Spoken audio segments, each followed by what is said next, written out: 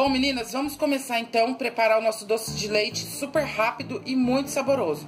Eu tenho aqui na panela uma xícara de açúcar, eu vou derreter esse açúcar aqui até ele formar um caramelo, tá? Eu tô usando aqui açúcar cristal, mas você pode usar açúcar refinado ou açúcar que você encontrar aí na sua região. Não pode ser açúcar de confeiteiro nem açúcar impalpável, tá? Tem que ser açúcar comum que a gente usa no dia a dia. Nós vamos derreter aqui e daqui a pouco eu volto e mostro o próximo passo a passo para vocês desse doce de leite maravilhoso. Fica aí, já vai deixando aquele curtir no vídeo. Bom, gente, ó, derretemos o nosso caramelo. Agora nós vamos pôr meia xícara de leite fervendo. Nós vamos mexer aqui até dissolver todo o leite no açúcar. Se vocês sentirem necessidade, acrescentem um pouquinho mais de leite, tá? Olha só.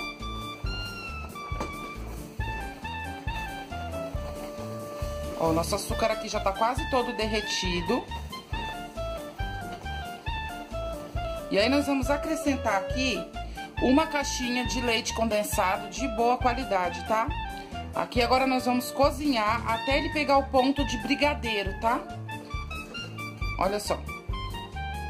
Vamos cozinhando aqui, daqui a pouco eu volto e mostro pra vocês o resultado. Bom, gente, olha só, nosso doce, tá? Já tá no ponto de brigadeiro mole. É esse o ponto que a gente quer. Se você quiser o seu doce de leite mais escuro, você deixa um pouquinho mais. Você pode fazer ele até no ponto de enrolar, tá bom? Que ele vai ficar quase num ponto aí de brigadeiro mesmo, tá? Então, olha só, aqui nós vamos colocar numa tigelinha de vidro agora pra esfriar. E depois de frio ele encorpa mais. E aí eu volto e mostro o resultado final pra vocês, tá bom? Olha só, gente, nosso doce de leite já está pronto. Olha a consistência dele.